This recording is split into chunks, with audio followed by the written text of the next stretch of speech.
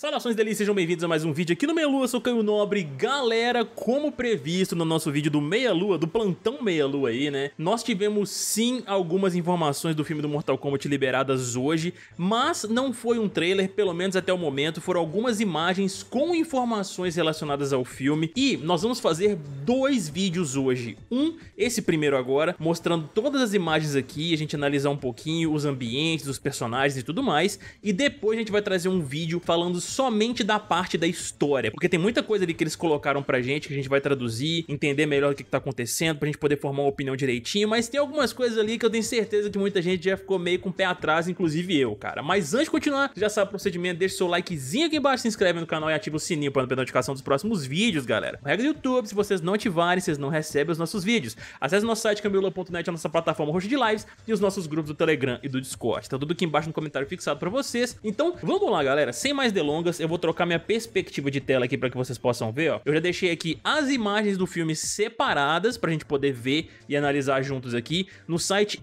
EW.com, que eles liberaram tanto as imagens quanto as notícias relacionadas ao filme aí, né? A sinopses, falando um pouco dos personagens e tudo mais. E aqui nós temos a primeira imagem, galera, de Liu Kang e Kung Lao. Olha só, eu particularmente achei bacana todos os dois personagens. Inclusive o Liu Kang, ele tem uma outra imagem que foi liberada aí que mostra ele de corpo inteiro pra vocês verem melhor. Porque aqui com essa roupa a gente pode ver ali aquela faixa na cintura que ele tem ali, né? Segurando aqui a roupa e tudo mais. E essa parte de cima tá um pouco estranha. Mas na próxima próxima imagem a gente tem um vislumbre melhor de como tá o personagem. Já o Kung Lao, cara, eu achei bem legal porque assim, o traje dele se assemelha realmente ao que a gente tá acostumado a ver nos jogos de Mortal Kombat, alguns detalhes ali, entendeu? Mas principalmente, cara, o chapéu característico que obviamente estaria no personagem, porque não tem como você pensar em Kung Lao e não ter o chapéu dele, tá aqui aparecendo também, ele com a pose característica segurando assim na lâmina, como se ele fosse tirar o chapéu e tacar, então muito legal. Agora, esses foguinhos aqui na mão do Liu Kang, cara, é essa computação gráfica aqui eu acho que ela precisa de uma melhora. Pode ser que tava no início do VFX aqui, eles estão melhorando esse negócio ainda, mas beleza, vamos esperar pra ver como é que vai ser, porque isso aqui é simplesmente uma imagem, entendeu? Eles estão numa espécie de templo que parece também um ambiente, a gente pode ver uma estátua aqui numa pose de luta e tal, pode ser até o templo Shaolin, onde eles treinam ali, né? Vamos esperar pra poder ver qual é. E a próxima imagem aqui, galera, ó, nós temos, deixa eu até desfazer o zoom que eu tinha feito ali, ó, o nosso querido Liu Stan, que realmente realmente é o personagem chamado de Cole Turner, que a gente tem visto aí há bastante tempo, e ele de fato é um boxeador dentro do filme. Eles contaram um pouco no site do EW aí sobre o personagem, falando que ele é um boxeador, que tá em decadência e tudo mais, ele tem uma marca de nascença com o símbolo do Mortal Kombat. A gente vai comentar sobre a parte da história em um segundo vídeo que a gente vai postar ainda hoje pra vocês. Essa adição de um novo personagem, cara, como já era esperado da gente aí, né, que a gente desde o início lá, desde os primórdios com notícias sobre o filme, a gente já estava ouvindo falar que teria um personagem fora do que existe dentro do roster do Mortal Kombat, eu fico preocupado, cara, desse personagem do Liu Stan aqui acabar roubando tempo de tela de outros personagens do próprio Mortal Kombat que poderiam ser melhor aproveitados, entendeu? Então assim, eu já fiquei meio com o pé atrás com essa decisão de colocar um personagem novo. Eu sou muito a favor, eu já disse várias vezes aqui em vídeos, deles criarem coisas novas pra franquia, como foi o caso do Scorpion's Revenge, que eles modificaram algumas coisas ali, pecaram em algumas, tá? Mas no final das contas, ficou um filme muito legal, muita gente gostou, apesar de alguns não terem gostado. Mas nesse caso aqui, cara, eles têm que tomar muito cuidado com isso, porque já é fato que esse personagem novo aqui, ele vai sim pegar tempo de tela de outros que poderiam ser melhor aproveitados, cara. Só nos resta esperar pra poder ver como é que isso vai funcionar. E a próxima imagem aqui, galera, ah, meus amigos, meu Deus do céu, finalmente nós estamos vendo aqui, porque a gente já sabia o roster inteiro do filme, né?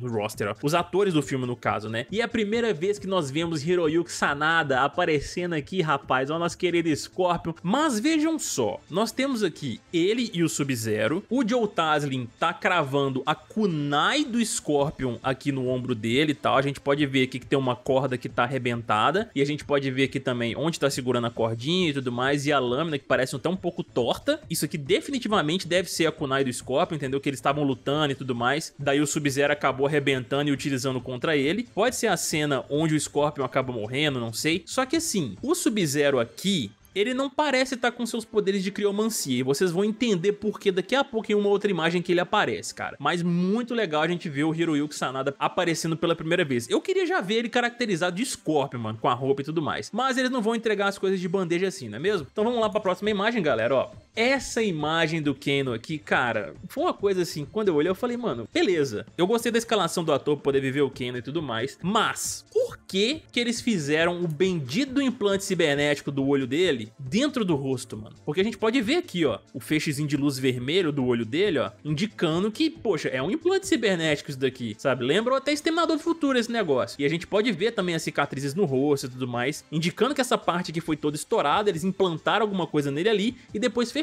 Eu era muito mais a favor deles terem mantido a característica do personagem, que aquele implante cibernético exposto mesmo pra gente, aquele metalzão com aquele olhão vermelho e tudo mais. Eu fiquei até pensando, tipo, os caras quiserem economizar na produção, por isso que eles fizeram simplesmente um feixe de luz vermelha e um pouco de cicatriz no, no rosto do cara, sabe? Eu até comentei com a galera lá no grupo do Telegram, tá ok eles fizeram isso daqui, mas se eles acabarem, por exemplo, arrebentando o rosto dele numa luta, daí expondo o implante cibernético, tá ok, mas eu acho que eles deveriam ter colocado diretamente já o implante cibernético ali. E a próxima imagem aqui, galera, ó, é a nossa querida Sonya Blade descendo o sarrafo no Kano, rapaz, porque ele tá caído aqui, a gente vê que ele já tá com as cicatrizes no rosto, provavelmente já com implante cibernético. Eles estão numa espécie de deserto, não sei muito bem o que pode ser esse ambiente aqui. De acordo com Mortal Kombat 11, uma base da Special Forces ficava no deserto. Eu não sei se eles vão seguir mais ou menos aí, pegar de referência esse ponto pra poder colocar realmente uma base da Special Forces no deserto no filme também. Mas nós temos aí também um vislumbre da nossa querida Sonya Blade dando um pau no Kano, como já era de se esperar. E a próxima imagem aqui, galera, nós temos Jackson Briggs com seus braços mecânicos aqui, rapaz,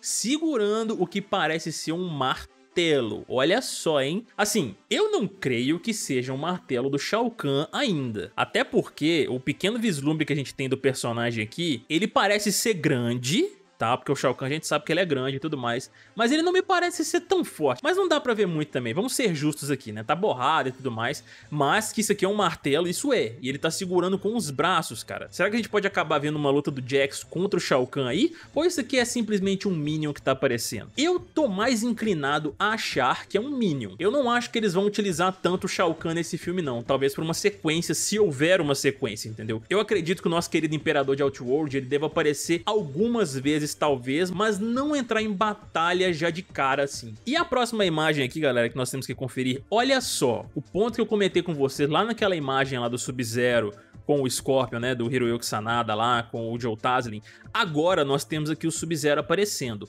Reparem que a gente tem aqui a máscara do Sub-Zero que está sendo tapada pelo gelo. Isso daqui para mim é uma clara referência ao Mortal Kombat X, quando ele faz assim com as mãos e cria a espada de gelo, entendeu? Ele faz exatamente isso aqui no Mortal Kombat X e ele tá fazendo isso no filme também.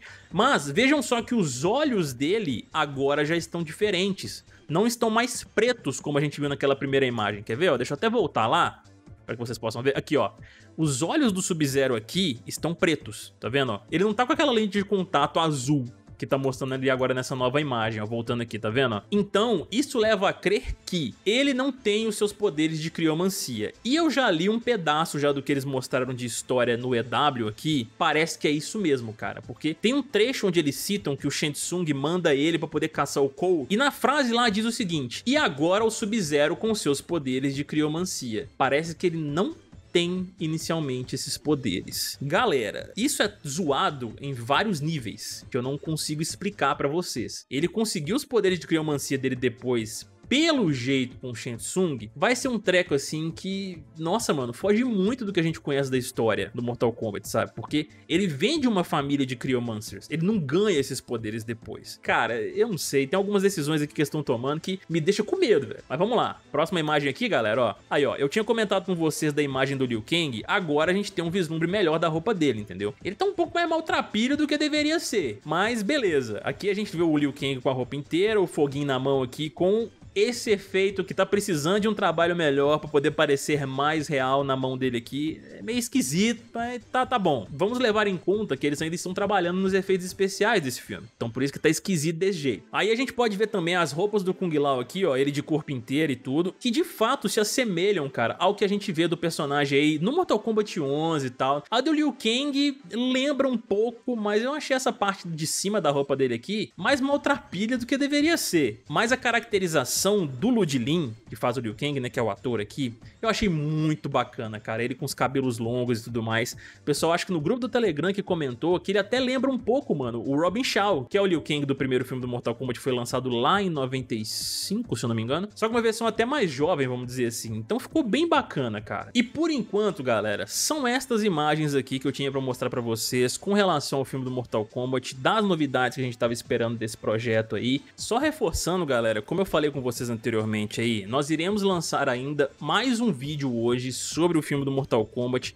mas agora trazendo todos os pontos da história que o site do EW postou lá pra gente, beleza? Então Fiquem ligados aqui no canal e eu quero saber agora de cada um de vocês aí que estão assistindo o vídeo. O que, que vocês acharam destas imagens do filme do Mortal Kombat? Vocês gostaram? Vocês não gostaram? O que vocês esperam do filme agora com algumas revelações que nós tivemos aqui? Com relação à questão do figurino, algumas coisas de roteiro que eu tenho certeza que muitos aí já leram também, a gente vai comentar no outro vídeo. Eu vou adorar ver a opinião de cada um aí, e não se esqueça novamente de deixar o seu likezinho aqui embaixo, se inscrever no canal e ativar o sininho para não perder a notificação dos próximos vídeos, galera. Vamos ficando por aqui, um beijo, ó. Gostou? Você dá uma olhada pro esquerda e direita de cada um de vocês, até mais e fomos, galera!